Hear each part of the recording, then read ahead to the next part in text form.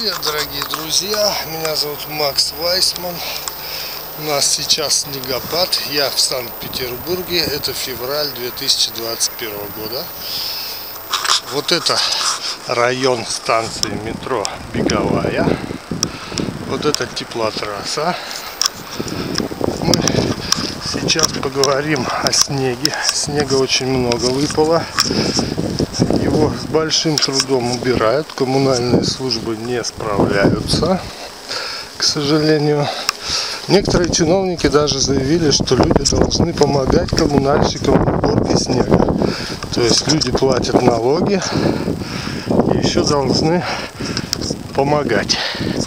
Почему-то, когда надо попилить бюджет, помогать людей никто не зовет, да? Только когда надо бесплатно что-то сделать. Вот это здание вы видите, это питерский газмяс. Самое высокое здание в Европе. Лахта-центр. Самый северный в мире небоскреб. Вы знаете, путинское время характеризуется деградацией всего и вся промышленности, здравоохранения, образования, других социальных сфер, репрессиями, но еще и понтами. Вот это вот то, что вы видите, это как раз понты. Ну, знаете, в каждой бочке дегтя можно найти ложку меда. Вот это она и есть. В темноте красиво смотрится. Не все только разрушалось через много лет потомки, изучая историю, будут клеймить путинское время, что все деградировало, разрушилось. Но вот это здание, которое останется и потомкам, покажет, что в любое время есть какой-то позитив.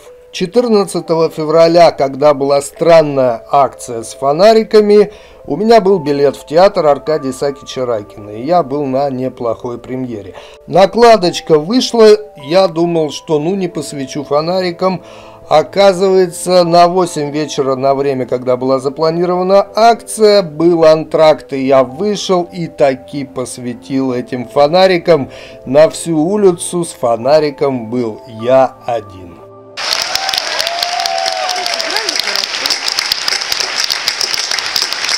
Чего они? Не была. Что, вот. перекрыли что А, они Дворцовую перекрыли. Акция 14 февраля по зажиганию фонариков на телефоне, откровенно говоря, слишком много сторонников не имела, так на мой взгляд, но я говорю, я один там стоял на всю улицу. Но тем не менее власть, даже вот этот немногочисленный, это даже и протестом на самом деле не назовешь, даже вот этот флешмоб они попытались всячески купировать.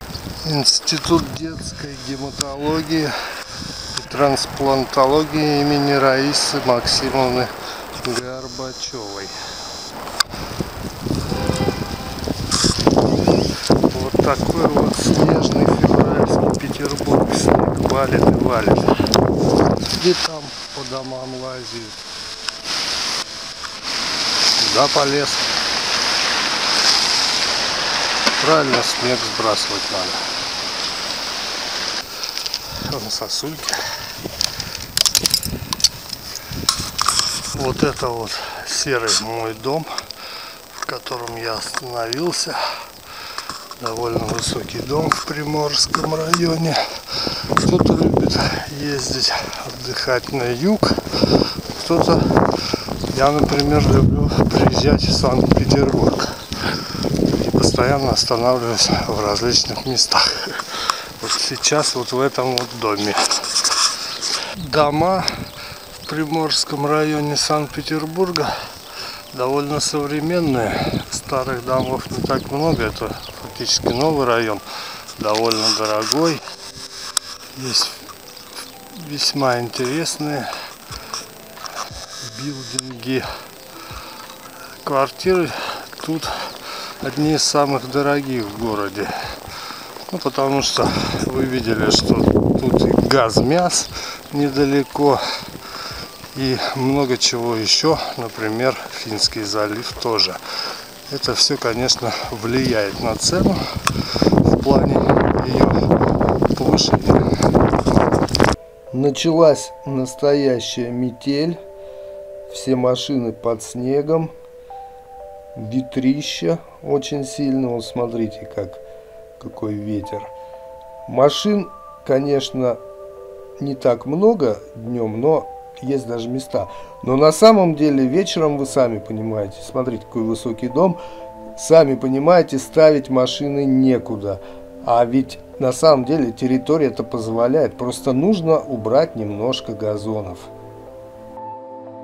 Вот это подъемник для лиц с ограниченными возможностями, посмотрите. Это забота о людях, которым в этой жизни не повезло. Очень и очень позитивно то, что тут такое в принципе есть. Лифт. Дверь работает очень и очень неспешно. И некуда спешить, в отличие от жителей этого дома. Вот, поехали наконец-то. Весьма сомнительно на века вбить в дом номер телефона строительной компании. Мне кажется, это очень странное решение. Метро Чернышевская, улица Фурштадтская. На этой улице полно различных иностранных консульств. Вон какой-то флаг. Наверняка очередное консульство. Цветы, школа флористики. Цветочное бюро. Надо ж так обозвать. Флаг Евросоюза. И что еще это? Испана.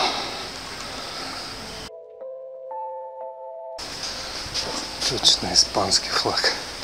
Сразу и не узнал.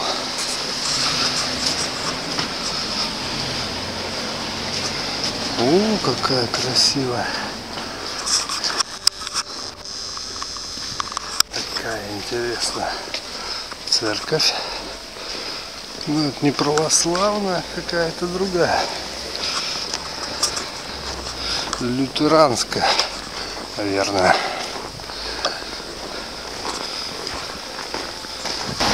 Архитектура, конечно, потрясающая. Вот особенно вот этот дом мне очень нравится. Со шпилем. У нас в Томске Дарина направо поворачивай. есть, конечно, несколько таких домов типа этого красивых. Но здесь они в центре практически везде подобные попадаются, один другого краса. Их просто не не то что много, а каждый, там, я не знаю, второй, третий. То есть любителям архитектуры, особенно от 19-го, начала 20 века, здесь точно есть что поделать. Типичный питерский двор, колодец, магазин, реанимация одежды, еще один магазин. Ну, с парковкой тут, конечно, не очень. Вот только вот такие автомобили можно парковать. Пройдем дальше во двор. Смотрите, какое там учреждение. Здесь с парковкой вообще жесть. Медицинский центр. Интересное здание. Все балконы застеклены, а вот наверху не удосужились застеклить. Смотрите, детская площадочка. Люди работают. Площадка ничего себе такая. Муниципальное образование, Литейный округ. Да. Все хорошо здесь кроме мест для парковки. знаменитый Невский проспект стоит в пробке. Площадь Восстания, станция метро. Смотрите, как красиво,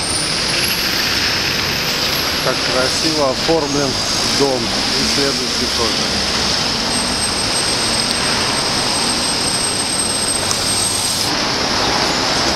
Дома подсвечены.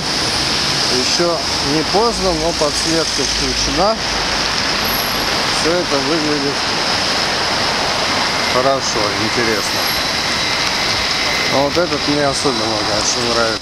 Вот эти вот снежинки на доме.